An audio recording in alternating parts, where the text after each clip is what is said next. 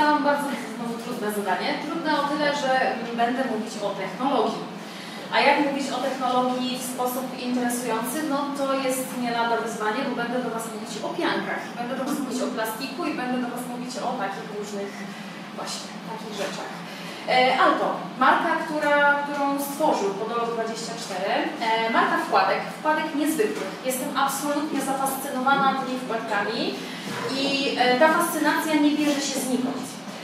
Są to wkładki, które można stosować jako gotowy wyrób, można je delikatnie modyfikować, a również, a o tym będzie wiadomo już za kilka miesięcy, pojawi się nowy produkt, który będzie produktem typowy custom, czyli do, do dostosowania do potrzeb pacjenta w bardzo prosty sposób.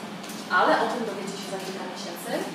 Natomiast teraz e, produkt, który jest w ofercie, produkt już znany, e, wkładki wykonane w całości z pianki Memopur. I żeby wyjaśnić, czym jest pianka Memopur, bo zastanawiałam się, jak to dokładnie opisać, to stwierdziłam, że musimy przejść przez wszystkie pianki. Postaram się Was przeprowadzić przez te, yy, przez te wszystkie informacje w taki jak najprostszy sposób, żeby uzmysłowić sobie tą dramatyczną różnicę między jednymi produktami a drugimi, między jednymi materiałami, z których są wykonywane, jakie były pomysły, jak po kolei się pojawiały, a co mamy teraz, dlatego że najnowsza pianka, ona jest najnowsza. Jest e, technologicznie najbardziej zaawansowana, najbezpieczniejsza.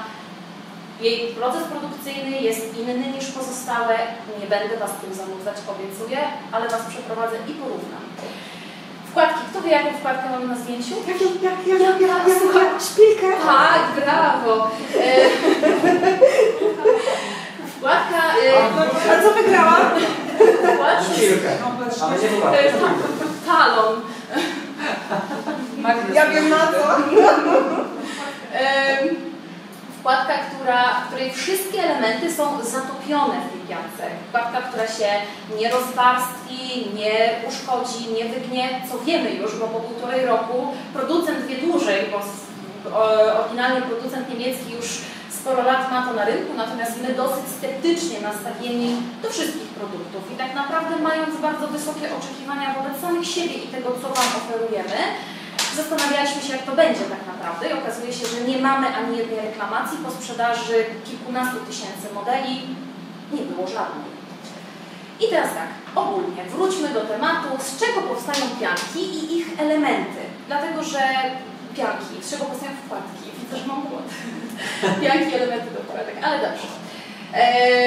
Przejdźmy do pierwszego i podstawowego materiału, trudna nazwa, będą cztery takie nazwy, polipropylen. E, propylen powstaje, jak widać, z ropy naftowej. Jest to najbardziej znany plastik, to oznaczenie PP na pewno widzieliście na wielu różnych produktach e, z dnia codziennego. Ogólnie jest to mm, produkt, który jest mało giętki, słabo się poddaje, jeśli chodzi o termoformowalne e, właściwości. To jest taki po prostu plastik. I teraz w zależności od dodatków on może być trochę lepszy, trochę gorszy. I na jego bazie powstawały mm, pierwsze modele, były, był korek łączony z takimi plastikowymi elementami, były różne kombinacje, różne rzeczy, ale on jest ogólnie, tak jak widzimy, mało elastyczny, słabo dostosowujący się i to było sporo lat temu, ale takie pomysły były. Pojawił się plastik w procesach technologicznych, można było go wprowadzić m.in. do produkcji obuwia, do produkcji wkładek itd. Tak Obecnie izolacje, zabawki, opakowania, folie i tysiące innych przedmiotów dnia codziennego, które znacie doskonale, e, to jest właśnie polipropylen. Potem mamy polietylen. On jest już jako proces produkcyjny wymaga użycia gazu ziemnego i etylenu. E, słowo poli oznacza, że jest to wiele tych cząstek połączonych e, w jedno. Tutaj całe procesy produkcyjne są przeróżne i bardzo skomplikowane i z tego już powstają do dzisiaj elementy wkładek lub wkładki. Jest odporny na rozpuszczanie, odporny na temperaturę i tą informację musimy zapamiętać. E, I z polietylenu mamy zmywacze, rury, folie, pojemniki i znów całe mnóstwo różnych innych przedmiotów. I mamy, to na pewno znacie, EVA. I to był przełom. Etylen, który wcześniej był, połączony z octanem winylu, to jest substancja, która jest bezbarwna, bez zapachu i wygląda dokładnie tak jak w tej kolbie na zdjęciu. E, po połączeniu tego powstała pianka, której właściwości są już dużo, dużo lepsze i dużo szerzej znane. Ale ta pianka ma wadę. Jest mało odporna na temperaturę. I ma zaletę niską temperaturę nagrzewania, czyli można ją formować po y, minimalnym nagrzaniu. Bo cały czas mówimy o wkładkach i dojdziemy do tego naszego memopuru. Z EVA są zrobione na przykład podłogi, jak ktoś trenuje na siłowni, to wie, że te podłogi takie leżą, jak na nie coś upadnie, to to pięknie amortyzuje te upadki, można na nie coś rzucić i to jest właśnie zaleta pianki EVA. Buty trekkingowe są wykonane lub kaski, czyli jest to już materiał wysoko zaawansowany technologicznie. No dobrze, no to jest EVA, mamy ten polietylen, który był wcześniej, ten z tym gazem, ale nadal to nie jest to, dlatego że w bucie podczas chodzenia, kiedy chodzimy, pojawia się tarcie i nacisk i to jest wiele kilogramów, a jak biegniemy to już jest dużo więcej, nawet w tonach. I teraz te wkładki wykonane z tych produktów często gęsto ulegają odkształceniu. No i pacjent przychodzi nie tylko do nas, ale do sklepu medycznego, tam gdzie wkładki zakupił, czy w sklepie internetowym, bo można dostać przeróżne produkty, narzeka, że jemu się coś powałdowało, wygięło, nie wygląda tak jak powinno. No i tak, wszystko super, EVA pochłania energię, amortyzuje, można z niego zrobić dużo rzeczy, e, jest taki bezpieczny dla środowiska, jak na te poprzednie, ale się kształci. W związku z tym producenci wpadli na to, że połączą poprzedni, ten z gazem i ten EVA w jedno, no i otrzymaliśmy coś, co jest już bardzo wysoko rozwiniętym materiałem i jest stosowane faktycznie we wkładkach. Jest elastyczne, jest lekkie, jest chłonne i przepuszczalne, ale ma i ten ostatni punkt strukturę komórek zamkniętych. I co to oznacza? I teraz przejdziemy do ostatniej pianki.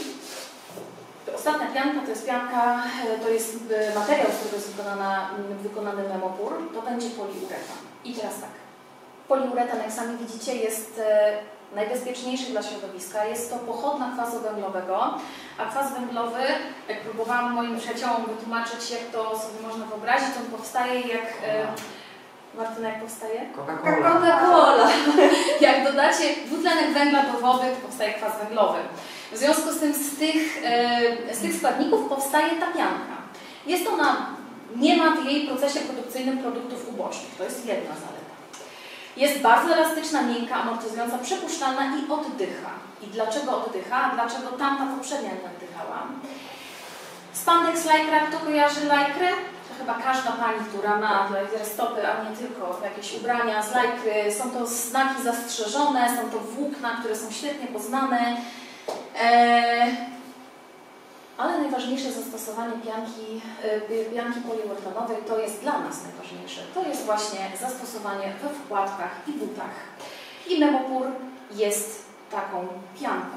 I teraz przypomnijmy, mieliśmy pierwszy zwykły plastik, potem ten polietylen z gazem trochę lepszy, potem EVA, potem połączenie tych dwóch ostatnich i mamy tą ostatnią. I połączenie tych dwóch ostatnich było bardzo, fajnie, e, bardzo fajnym rozwiązaniem, technologicznie świetnie, wszystko super, ale znowu łączenie dwóch, środowisko, ekologia i struktura komórek zamkniętych, a tutaj mamy Memopur jako innowację i przełom technologiczny.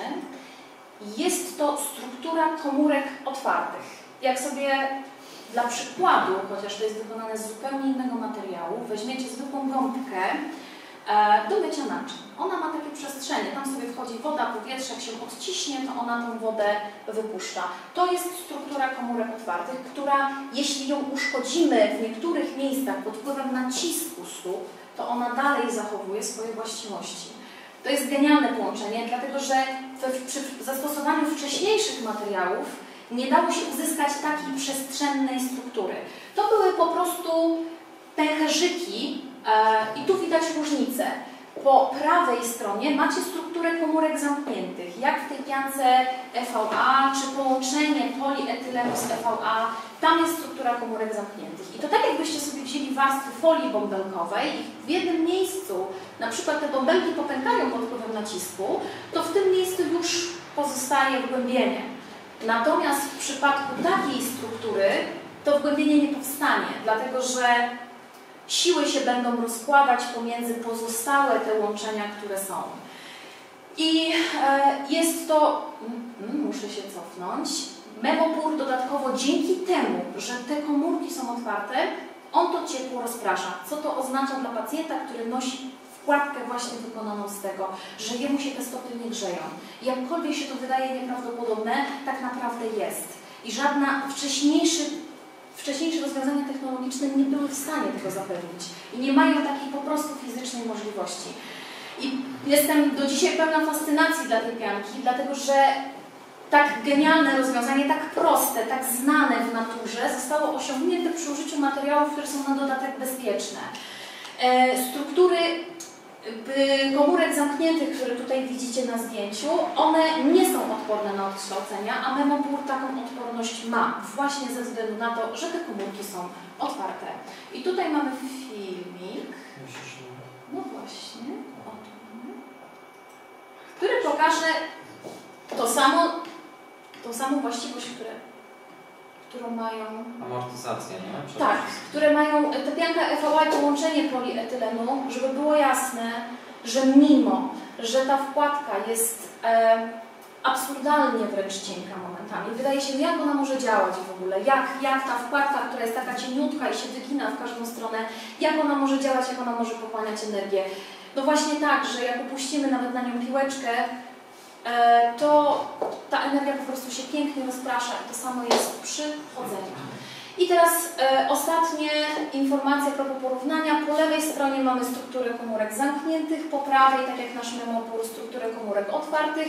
To są pianki akurat do izolacji, e, jeśli chodzi o, również tam jest przełom, ponieważ przechodzi się teraz z izolowania domów, to jest taki trochę, to, to trochę dygresja, ale przechodzi się, ta pianka jest tak wysoko zaawansowana, jeśli chodzi o proces produkcyjny bezpieczna, że odchodzi się od pianek z zamkniętymi komórkami na rzecz tych z otwartymi, bo one po prostu oddychają, izolując jednocześnie. Ym, magia, jak dla mnie magia, jeśli chodzi o fizykę. E, I teraz tak, dzięki temu e, wkładki zachowują swoje właściwości amortyzacji, wkładki nie odkształcają się, wkładki są miękkie i komfortowe, ale bardzo chronią. E, wkładki są ultra cienkie, mimo że dalej działają. Także to jest produkt, który jest unikalny. Takiego produktu nie ma na rynku. My mamy wyłączną, wyłączność, jeśli chodzi o dystrybucję. Jedyne pianki poli, poliuretanowe są jeszcze robione na zamówienie. Ma je duża sieć e, poradni medycznych w Polsce, e, natomiast tam też jest stosowana podobna pianka. Nie jest to jednak pianka Memopur, dlatego jak widzicie tam jest symbol znaku zastrzeżonego. Jest tylko jeden producent, który Panie na pewno kojarzą, a trochę Pani na sali mamy, w sumie w podologii więcej Pani, ale Panowie też powinni kojarzyć. Kojarzycie, ja zawsze o tym opowiadam i wszyscy, którzy mnie znają wiedzą, co teraz powiem, kojarzycie Beauty Blender, taką gąbkę do makijażu. Ja się wizażem zajmuję, tak, też.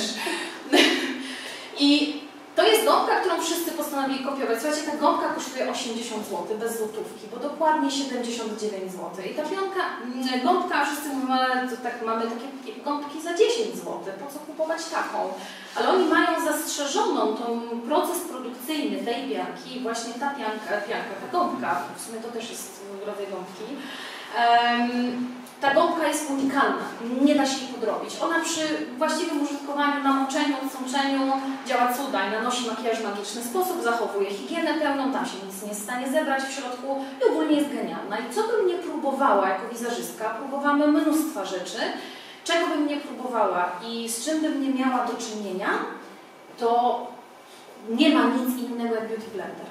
I idę i pokornie wydaję 80 zł na tą gąbkę, bo ona nie jesteśmy w stanie, nikt nie jest w stanie jej odtworzyć. Proces produkcyjny, znaczy tajemnica jest zachowana na najbliższe 50 lat, bo to jest maksymalny okres i wszyscy, Lego też było zastrzeżone, straciło swój, e, w ogóle swoją drogą a propos zastrzeżenia, to Big Mac też stracił e, już, e, nazwa nie jest zastrzeżona, także wszystkie burgery będą się nazywać Big Mac.